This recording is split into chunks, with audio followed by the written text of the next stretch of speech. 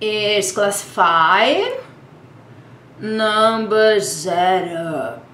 Human interaction is unpredictable.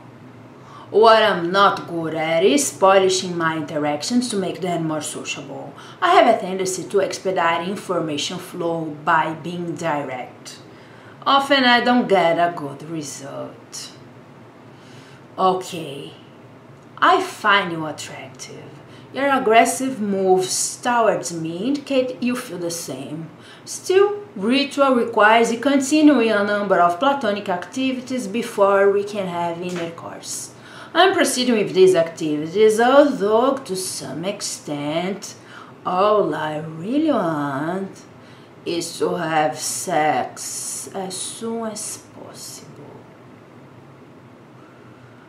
Are you going to leave me?